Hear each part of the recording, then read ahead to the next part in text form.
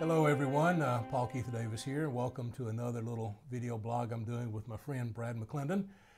And uh, we've just been kind of talking about uh, 2018 and uh, kind of in keeping with the last few video blogs that we've done, talking about some of the things we have seen prophetically for this new season. And one of the things most of you know that have watched my blogs that we're moving into a new day. There's a new grace, a new dimension in God. There is something fresh coming, and and uh, that that we're not going to continue to do things as we have in the past, even though some of the truth and some of the principles of the kingdom, of course, are, are never changing. But there is something that is different about this year than the prior three years. For me, Brad, um, you know, I felt like myself and a number of other people that are among the remnant of God's people have been almost in a Joseph paradigm, you know, where Joseph was in the dungeon, you know, for, for a number of years. But even after, um, you know, he interpreted the dreams of the wine bearer and the baker, he was in prison two full years. It says in one translation, two years to the day. And then finally his hour came, and there was, you know, he woke up one morning in the dungeon and went to bed that night on the throne. Right. And I, I really like what he, the way he named his sons, the first one being Manasseh the Lord has made me forget all my troubles. we need to birth something like oh, that. Oh, I'm so ready to forget all my troubles and just have something so new and fresh and so full of God, you know, that we just, you know, we forget about the season of testing and trials and hardships. And, and I really believe that. I, am not just saying that to be an encouragement. No. I really sincerely believe that, that God's not going to leave us in the dungeon forever. No. Uh, and that we're coming out, you know. And go ahead if you yeah, like. Yeah, I mean it is. It's it's it's the year of God's favor. It's yeah. uh, Psalm 65, 11, and and you look in the Bible how many times God showed up uh, yeah. and totally transformed everybody their life, and they did forget their problems. They did yeah. forget their issues, and just His goodness itself can set you on a brand new path. You know. 65 Psalm 65:11, you know, there's the word crown there is an interesting word. It's not what we think of putting something on your head. Right. It means to to corral. Right, right. God is going to corral our year with goodness. Yeah. That means whatever direction you go, you run into his goodness. That's right. That's and right. I kind of like that. I like that. Uh, the goodness of God. David said, "My heart would fail me if I did not believe that I would see the goodness of God." In the land of the living. And I think that's descriptive of a lot of us. We want to see the goodness of God, His blessings, His favor. Um, you know, I've been getting pre- previous to, to the last couple of blogs, you know, Luke 4.18, mm. the Spirit of the Lord is upon me. Right, right. To bind the brokenhearted, to proclaim liberty to captives and freedom to prisoners, and uh, open the eyes of the blind, but also to declare the favorable year of the Lord. Do you feel like that's where we oh, are? Oh, absolutely. But I, I think the way we're going to see it is not going to be like the past. I think uh, it's going to ch- it's going to even change us. Okay. We're going to have a, a, total different attitude of even how we minister. Right. How, how uh, the way we've done in the past and the, our nature. Mm-hmm. But I know between me and you, with the dungeon has actually helped us. The darkness has actually helped us, and it's brought us out into a place to where we can care for right. what God gives us right. in our life. That makes sense. You know, Joseph, you know, he went through the dungeon. He went through H E double L right, for a few years. And I won't say the word, but he went through some really difficult he betrayals did. and pain and heartbreak and all of that. But then when he came out, he served God faithfully for 80 years. Yeah. 80 years on the throne. Right. And we don't see a single instance where he betrayed God or where he failed God or where he forgot where he came from or you know arrogance never entered back into his life or none of those things. For the most part from all we can tell from scripture he lived 80 years of glory. Absolutely. And my hope is if that is the paradigm if joseph is the model then those of us that are coming out of the dungeon we can have a you know the remainder of our life living in the goodness of god I want to go back to that scripture, Psalm 65 11. Why did you feel like this is the year of God's goodness? Well, one thing, we need it. I think, the, I think the reason why he's bringing his goodness is to bring us into the Isaiah 61. I, I believe it's the, I, I believe the, the Psalm 65, 11 and Isaiah 61 kind of dovetail together along Okay. with what you're talking That's, about. that's Luke 4:18. yeah. Same thing. The uh, Spirit of the Lord is upon me. Exactly. Okay. I think that is the favor of God that we've needed. Is the Spirit of God being upon our lives, not just in our lives, but it being upon our lives in order to change our environments. Right. Um, I, I, I truly believe that we're in a season, like you said, we're coming out of that Joseph season and into a season where it's all God. But we've needed the Joseph season. Right. And I could uh, basically would say the reason I, I feel like we're coming into this is not because it's something God is just saying. If you watch the seasons of God, even in America, and what we've been through and what the world's been through, we are postured into the seasons of the Lord for His favor because we're about to see huge salvations Right. through the goodness of God.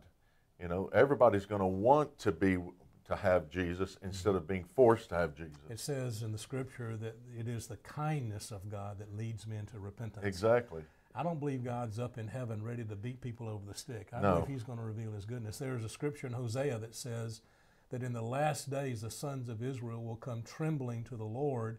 They will come trembling to His goodness. Absolutely.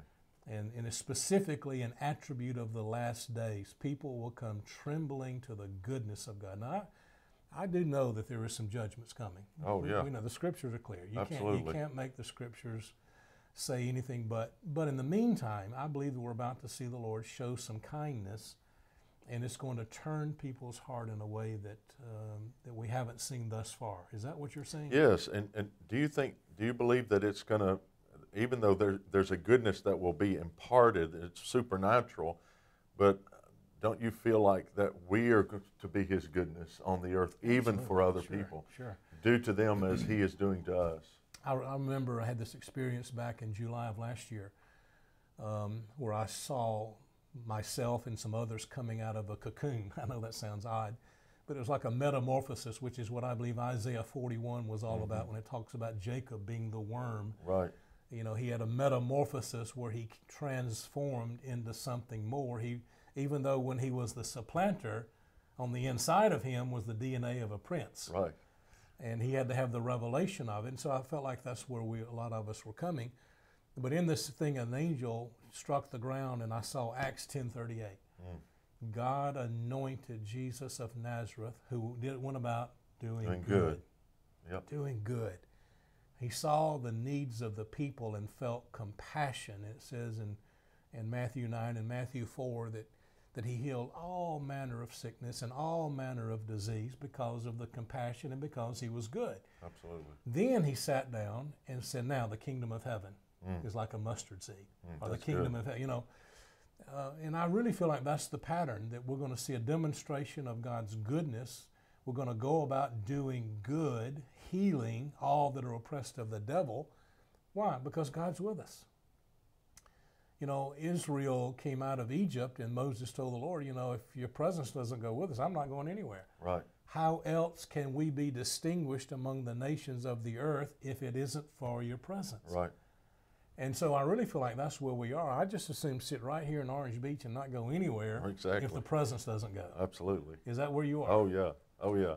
I mean, I, the, the, thing that comes to me is, it's, as far as goodness is concerned, and it, it's kind of hidden. But when then the centurion came to the Lord, you know, begging him to come to heal his servant, which he desperately loved. Right.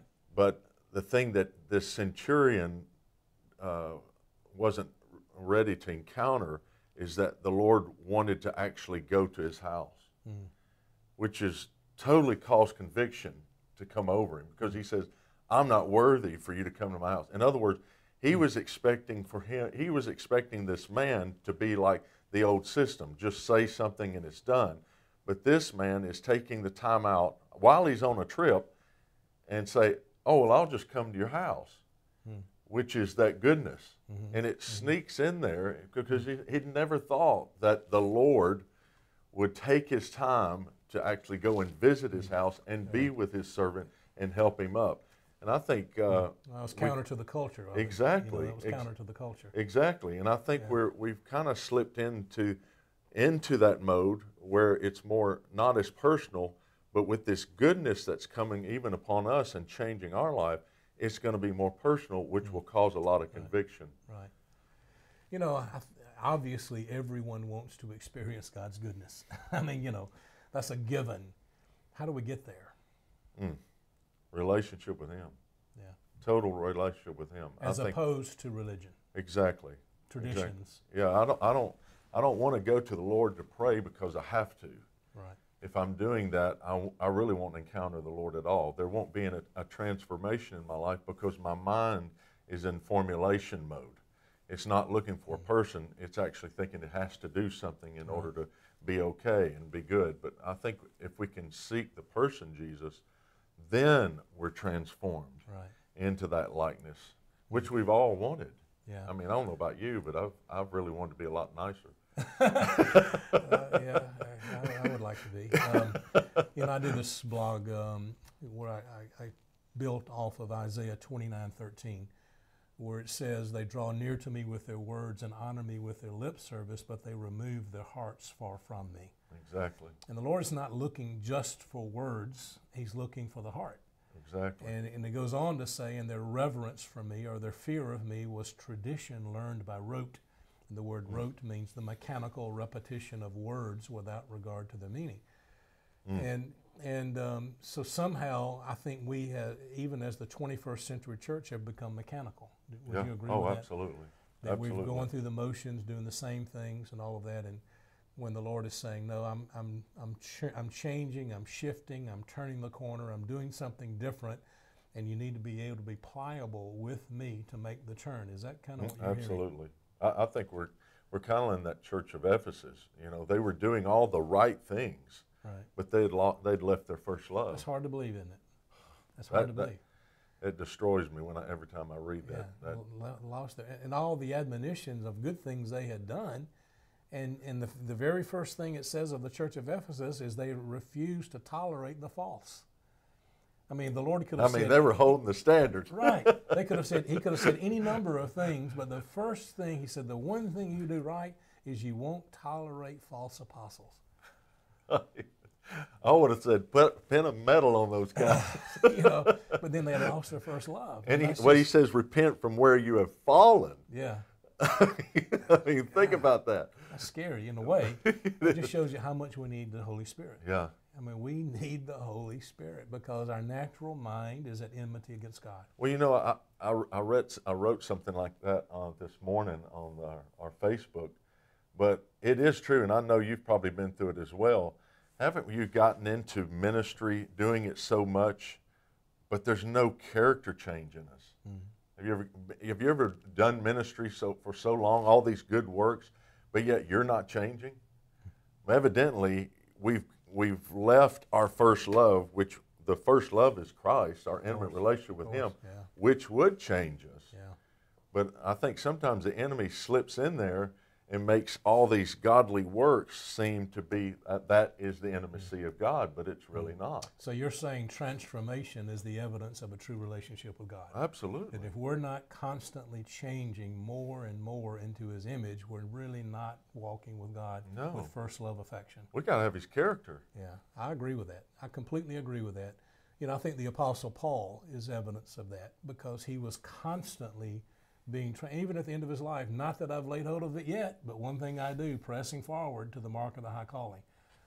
And, and I agree that if we're not constantly in a mode of transformation, that if my life is not becoming a little bit more like the Lord every day, then I've missed the mark somewhere along the way.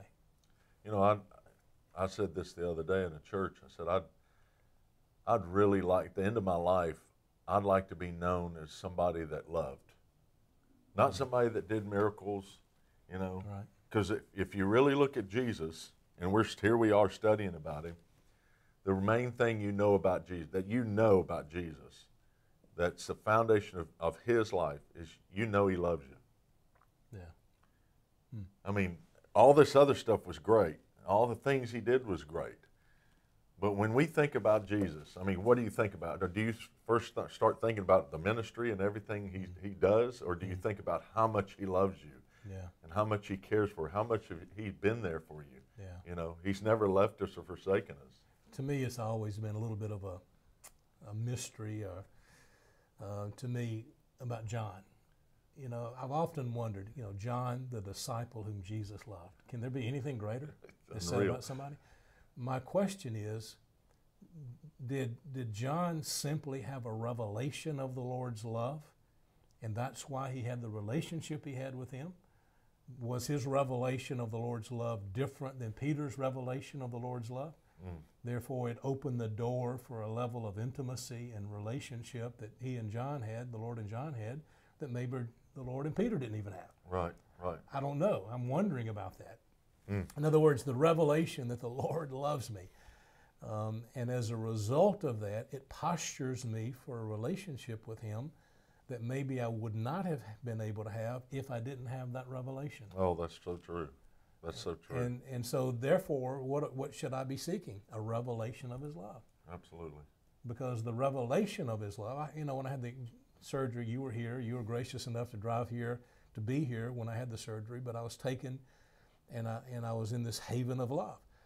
And the Lord took a little piece of His heart and He, he began to delegate. It's almost like He took a little piece of His heart and offered it to us. And He says, "Take my heart and manifest it in planet Earth." Well, it's, it's a heart of love you know, let the love of God burn so brightly in us that it brings in the greatest, greatest harvest of souls the world has ever seen. But it's all based on a revelation. And, uh, and so, as we close this blog, uh, why don't you just pray and ask the Lord to release an anointing, a grace, a favor, because I, I, bet there's a lot of people out there that question the Lord's love. They probably have been through a lot of stuff, and they're saying, "Lord, where are you?" Yeah. you know, and maybe you can pray some grace on people to begin to have a revelation of that.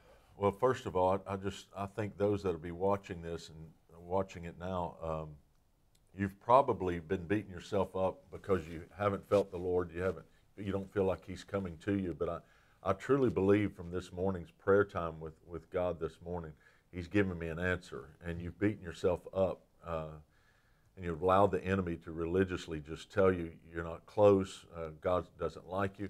But it's because he's gotten you, the enemy's gotten you so busy, he doesn't want you to have that encounter with the Lord. But I'm telling you, all you have to do is drop the stuff that's pushing you, just call on his name, and I guarantee you his presence will come. Because if we call on his name, he is there.